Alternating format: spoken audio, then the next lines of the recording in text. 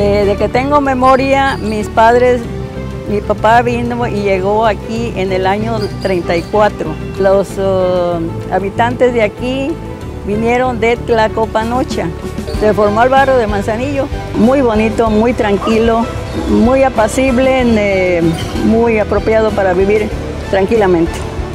Conozco aquí porque viví parte de mi vida cuando había aquí tierra, era pura tierra. Aquí nos divertíamos. Fue la época de mi infancia en la que venía y había torneos internacionales de esquí acuático. Yo empecé a los 7 años hasta los 16 años que me casé.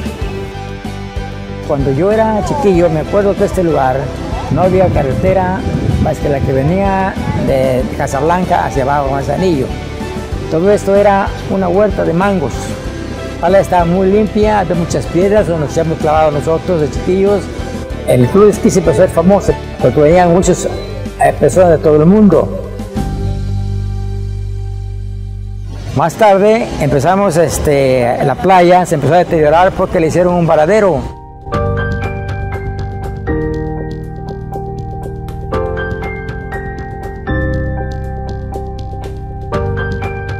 Estaba todo deteriorado, no teníamos un parque, no podíamos pasar ni caminando en el paseo del pescador porque las embarcaciones ya estaban estorbando, entonces no teníamos un libre acceso a pasar caminando, transitando por el muelle. Estaba sin iluminación, estaba con basura, había gente viviendo aquí en el muelle ya y estaba tomado por la delincuencia también porque estaba tan oscuro que la gente estaba abandonado todo, todo el paseo del pescador.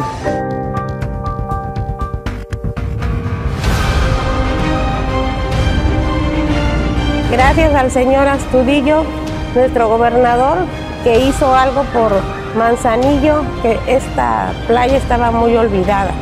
Quedó un, lugar mucho, muy, muy bonito, muy propio para todo el, público que desee ver de nuevo esto, porque esto ya, ya estaba antes, pero ahora quedó mucho más bonito. Nunca pensé que se fuera a ver tan bonito el muelle con gente paseando, gente brincando con felicidad, obras grandes para Acapulco, para que la gente siga viniendo. Pero lo más importante de esto es que las playas están volviendo a ser lo que era antes.